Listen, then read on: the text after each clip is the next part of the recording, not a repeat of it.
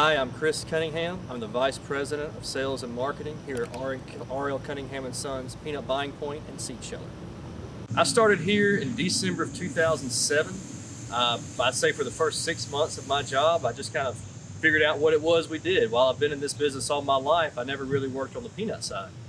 And so since then, I've taken on roles of overseeing peanut seed sales and uh, buying point procurement, farmer relations, uh, anything that a buying point manager should do, I have my hands in and do.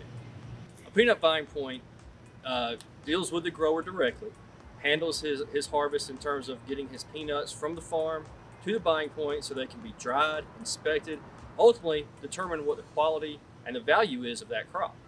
Uh, he also has a relationship with the peanut sheller in terms to handle the purchase of that crop, get the grower paid, and uh, get the peanuts to, to where they need to be in the market. I was an agribusiness major at the University of Georgia.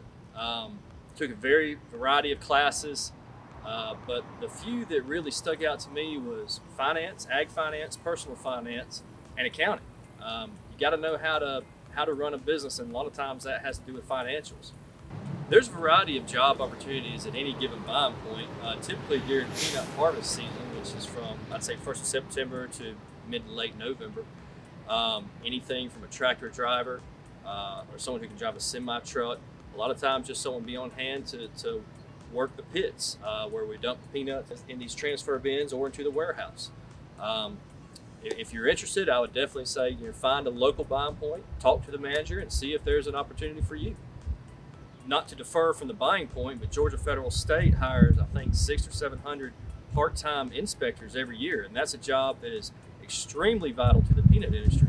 That person or that, that group determined the quality and the value of the United States peanut crop. So peanut grading is uh, what, what the, the inspectors from Georgia Federal State will do. They will sample the peanuts. They'll, they'll have a pneumatic probe to pull samples throughout the various spots of a trailer. Uh, they'll cut that sample down to 500 grams and they're determining value and determining weight, or quality and weight. Uh, excuse me, those two things together equal value. Um, they want to know how what percentage of this is peanut. Uh, do we have 5% foreign material? That can be dirt, sticks, rocks, um, or hulls. Uh, what percent is loose shelled kernels? Those are peanuts that are shelled during the harvest process. And what percent are whole kernels? What percent are splits? All those things together come up to determine the grade of the peanut, which determines the value of the peanut.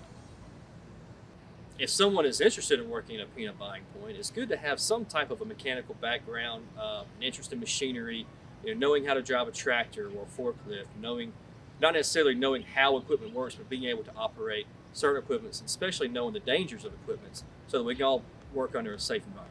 So one thing that sets our business a little bit apart from others is that we also have a peanut seed sheller. And what we do, we'll, we'll certify peanuts with Georgia Crop Inspection, and we will shell certified seed and turn around and sell it back to our farmers and other farmers in the South Georgia area. Um, while this is not unique to the peanut industry, it's somewhat unique to have a buying point and seed sheller in one.